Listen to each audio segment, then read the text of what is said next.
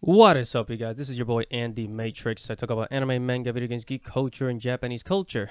So, really quick, I'm gonna try to make this really quick because I already talked about Brandon Sanderson's Brandon Sanderson's um, multi-million dollar back uh, Kickstarter project.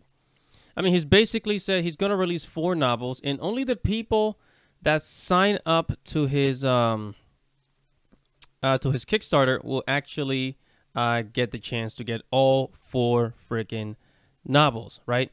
And I think I think the other day, a couple of days ago, it was at 25 million. Now it's at 26 million. That's 112,000 backers.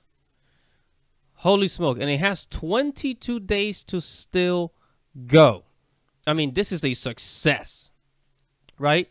But when you are a successful person of any kind in today's modern world, in today's modern world, like back then people used to people used to you know kind of like appreciate um, somebody who started from nothing to the top right? But nowadays nowadays if you have if you have any any amount of millions if you have a million dollars you know people just want to destroy you. So mr brandon sanderson mr brandon sanderson okay I'm here at Bounding Into Comics, and they are saying that Brandon Sanderson Kickstarter success draws outrage, accusations of white privilege from fellow writers. In other words, fellow writers, other fantasy writers, and other other other authors are saying that the reason why he's so successful is because he is white. okay, okay, so so let's let's let's um let's try this logic. Let's try this logic. If if somebody, right, if somebody like J.R.R. Tolkien starts a starts a Kickstarter, he's already popular. He's already popular. He wrote, um, he wrote the Game of Thrones series, right? A Song of Ice and Fire. So if he starts, if he starts a, a Kickstarter with all the fans that he has all over the world, don't you think he's pro- he's probably gonna make more than than Brandon Sanderson? Probably gonna make hundreds of millions. Who knows? But the point is, it's absolutely crazy right? Right? And they are acting, they are acting as if an author, a writer of color, such as, gee, I don't know. Have you guys ever heard of Tomi Adeyemi? Right? Tomi Adeyemi, she is a Nigerian American novelist. She wrote she wrote a book called The Children of Blood and Bone. Children of Blood and Bone. If you know, for those people, for those people who've never who've never read who who are not who are not readers, right? A lot of you, you know how Hollywood is always saying, "Oh, how come there there aren't any any black characters in fantasy? How come there's no, you know, there's no uh, African fantasies out there?" Tomi Adeyemi, she wrote Children of Blood and Bone, which is an African epic fantasy. But you will never hear Hollywood talking about this because it's not part of their agenda, right? Tomi Adeyemi was given a million dollar. Uh, she, she sold the, the rights to the to the book for a million dollars. She's a millionaire. She is an author millionaire. You will not hear Hollywood talking about her because it's not it's not part of their agenda. Right? They want to portray everything as if, oh my God, oh, other, you know, everything is the fault of white white people. It's white people's fault. At the same time, there's authors out there who write in the same genre who have a really good success. She's a millionaire. Tomi Adeyemi is a millionaire. Right? But, of course, because Brandon Sanderson is a white guy, and I'm telling you this as a Latino guy, they're blaming his success on the fact that he's white. Despite of the fact that he built his career from finishing the Wheel of Time novels and publishing a whole bunch of his own novels. I mean, come on. Anyways, let's let's let's see what what some, some of these haters have to say because it's his fellow authors. These are fellow authors in the, that that that he probably knows that he probably met. They're talking smack about him, right? Right. So, um, here's one. Say Natania Barron. She's uh she's I guess she's one of the writers. It says um Pilgrim Pilgrim of the Sky author Natania Barron open. She says today is a really good day to support your favorite author who hasn't made one, 18 million dollars in the last few days. Right, it says, Am I personally upset at Brandon Sanderson for making money? Uh, no, not at all. Truly, good for him.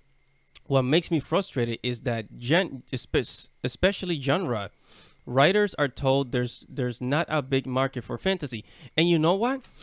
There's a market for fantasy, but it's not as big as romance. When it comes to publishing, romance is the biggest genre because most of most of the readers out there because women read more than men. This is this is a st- is statistics. This is a fact. That's why romance is one of the biggest, you know, publishing genres. Right? So Brandon Sanderson, he built his audience over time.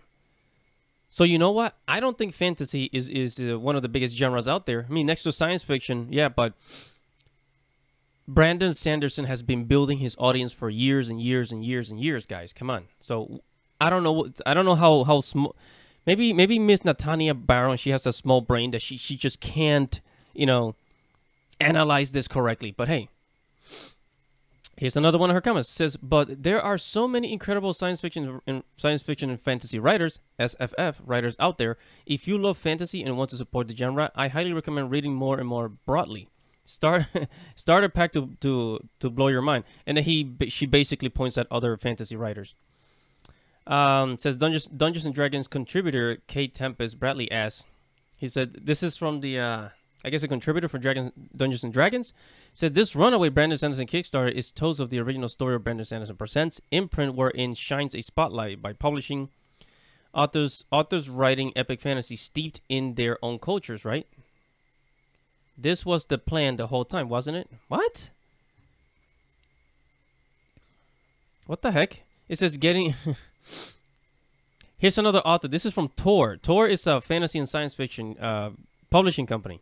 Okay, it says getting increasingly more irritated by the continual astronomical success of the, that Kickstarter. There is so much excellence, diverse science fiction and fantasy out there, and y'all are intent on giving giving a that man millions of dollars. Yes, yes, because he built that up. He's been building it for years. This is like it's it's a platform. See, the, see the thing about the thing about writers, and I know because I've written books. I, I've told you guys I have books published on Amazon, but I mean I have never had any huge success the thing about artists, whether it's painters, writers, poets, is that they have such a poor mentality when it comes to business. And that is why there's the there's the quote, you know, the, the, the famous phrase, the starving artist, because of people think like this. Because they think, oh, it's wrong. It's absolutely wrong and bad to make millions of dollars. If that is true, then maybe J.K. Rowling is a bad person for making billions off of Harry Potter.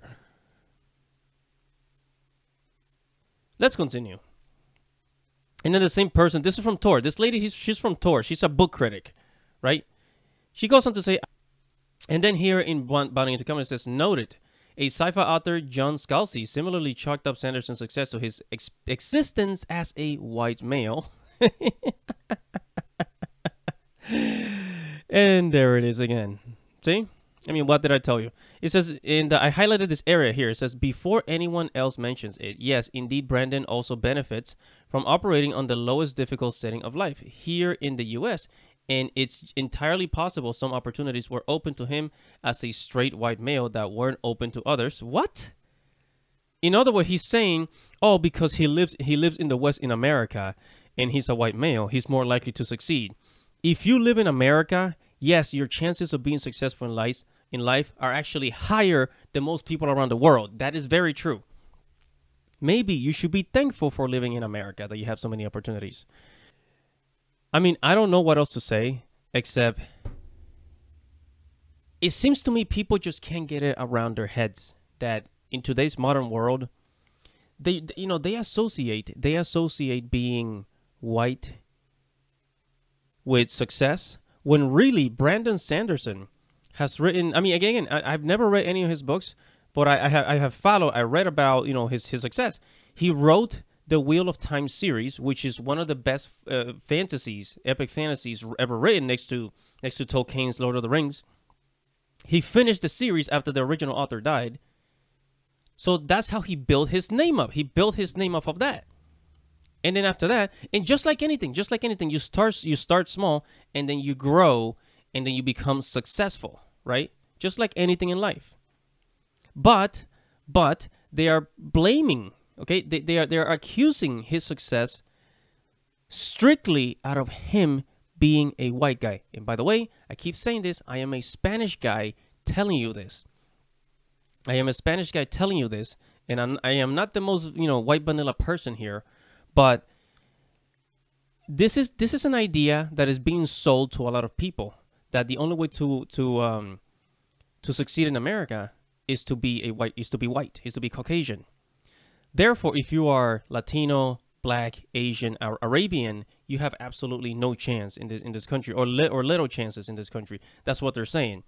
This is total freaking lie. You see, you have authors, and like I told you before, Tomi Adeyemi, a Nigerian American author, who wrote a novel, an epic fantasy novel full of Africans, who who was an it was an absolute success. It has thousands of reviews on Amazon, thousands and thousands of reviews on Amazon. But but they much rather they much rather stick to their narrative. Okay, they much rather stick to their narrative of racism and white privilege that they absolutely ignore other successful quote unquote minorities. They tell you, oh, you're a black person, therefore it's hard for you to succeed in America. Oh, really? What about all the other successful black people in America, such as Oprah, such as Will Smith? You know, the lawyers, the, the lawyers and business people that, that are that are of color. They tell you, oh, you are an oppressed minority. You are not. It's a lie. And I'm telling you this as a Latino living in America. It's a fucking lie. I used to believe it, and now I'm out of that shit.